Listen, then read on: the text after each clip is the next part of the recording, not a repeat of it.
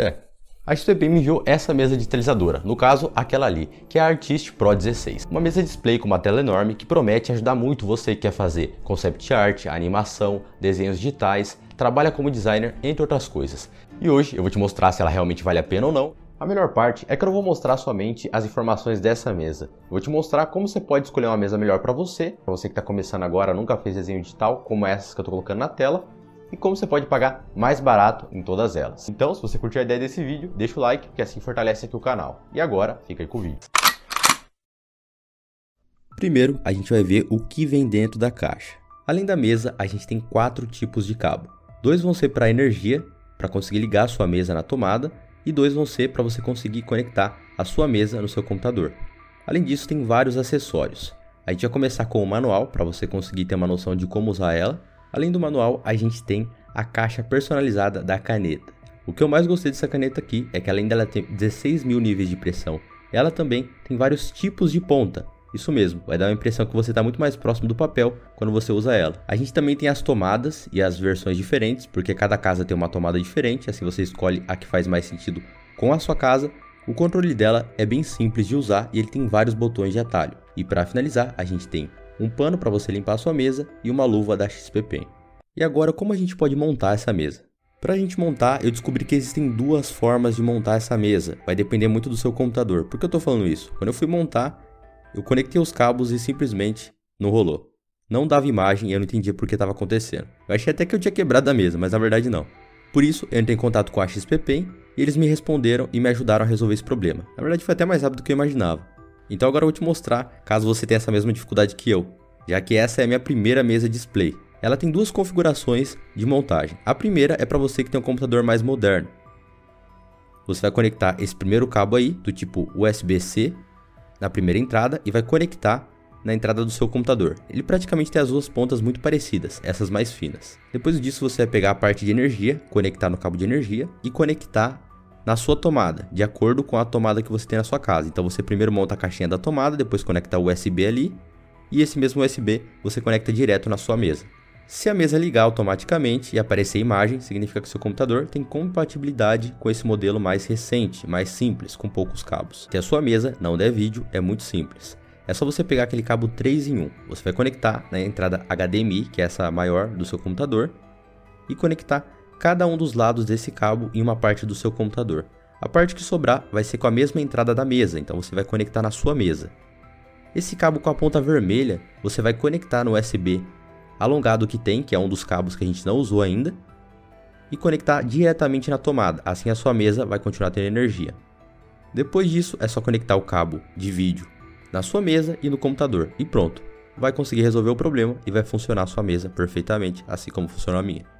Além disso, a gente tem o controle com várias configurações diferentes. E para instalar ele é bem simples, você pegar na caixa da caneta, vai pegar esse USB e conectar no seu computador.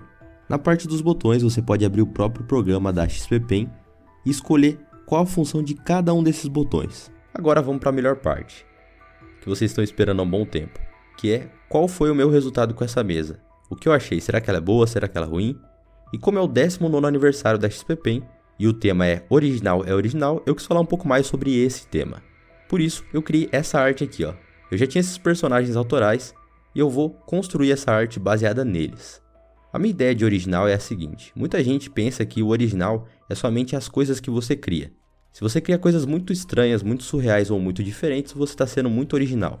Só que eu acho que na verdade o original ou o seu próprio estilo, ele vem muito mais de como você cria as coisas e não do que você desenha. Pensa comigo, você provavelmente já viu um personagem forte, certo? Assim como Dragon Ball. Só que em Dragon Ball tem um tipo de musculatura. Agora quando você vê os personagens de Bach, é um outro tipo de musculatura. E assim por diante. Cada um deles tem um estilo diferente. Eu acho que o que deixa a sua arte mais original não é somente o que você desenha, e sim como você desenha. Usando essa ideia, eu decidi criar esses personagens aí.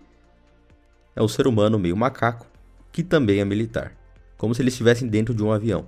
A ideia mais aleatória sua pode ser feita quando você entende como desenhar e usa o seu estilo, assim fica da forma que você quer. O que eu achei legal dessa mesa é que diferente das mesas comuns que eu estava acostumado a usar, ela tem a tela display que você consegue desenhar diretamente olhando para a tela.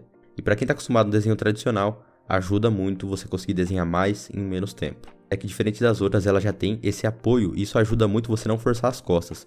Para facilitar, ainda coloquei a minha prancheta por baixo, isso ajudou bastante eu consegui ficar horas desenhando sem cansar. Outro ponto legal é que você consegue configurar a quantidade de luz que ela emite, ou seja, para não ficar tão forte nos seus olhos. Você pode abaixar ao máximo, principalmente para você que usa óculos assim como eu, ajuda muito a não cansar sua vista. Outra coisa que eu vi diferença nela é pelo fato dela ter 16 mil níveis de pressão. Isso ajuda a não ficar toda hora tendo que mudar de brush, ou até mesmo ficar nivelando muito, porque eu conseguia controlar a espessura do traço somente colocando mais ou menos força. Então isso poupa muito do seu tempo e isso te dá uma sensibilidade muito melhor na ponta da sua caneta. E também ela tem tipos de pontas diferentes. Se você está migrando do desenho tradicional e quer ir para o digital e fazer uma arte profissional sem levar muito tempo para adaptação, ela te ajuda nessa ideia, porque além de mais pressão, ela tem uma ponta mais macia que você pode trocar. Me ajudou muito a fazer a arte final desse desenho e toda a construção dele porque tem uma caneta muito versátil. Fora que tem esse extra aqui, ó.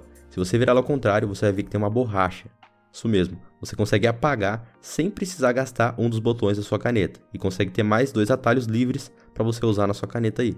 Eu acho que vale muito a pena. Eu gostei bastante dessa mesa e o que mais mostrou a diferença entre ela e as outras que eu tinha aqui é que em comparação às mesas que eu já comprei e as mesas que eu já vi e até mesmo outras marcas, nenhuma delas tinha 16 mil níveis de pressão. Isso influencia muito na hora de fazer a arte final de algum desenho e até mesmo na precisão dos traços. Você que quer aplicar achuras, você que quer fazer desenhos mais detalhados, isso dá uma boa diferença e te ajuda muito nessa parte. Fora que ela tem esse design minimalista que combina com qualquer coisa que você for colocar. E algumas dicas aqui para você escolher a melhor mesa para você. Se você está começando, eu não acho que ela é interessante para você. Existem outros modelos que são de entrada que vão ser mais interessantes para você que está começando agora. Porém, se você quer uma mesa display profissional em um nível avançado que vai te entregar uma boa performance, ela vai ser a melhor opção.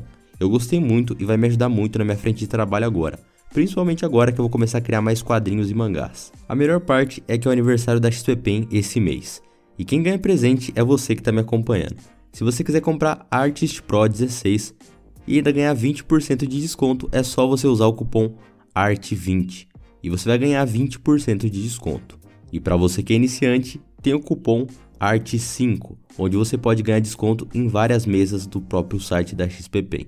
Então vai lá, usa o cupom que eu garanto que vai te ajudar bastante. Eu estou muito feliz de ter recebido essa mesa digitalizadora da XPP, porque realmente é um produto muito bom e vai me ajudar bastante no meu dia a dia. Se vocês quiserem mais vídeos sobre desenho digital e você que está começando agora, confere esses dois vídeos que eu garanto que eles vão te ajudar. Tamo junto e até o próximo vídeo.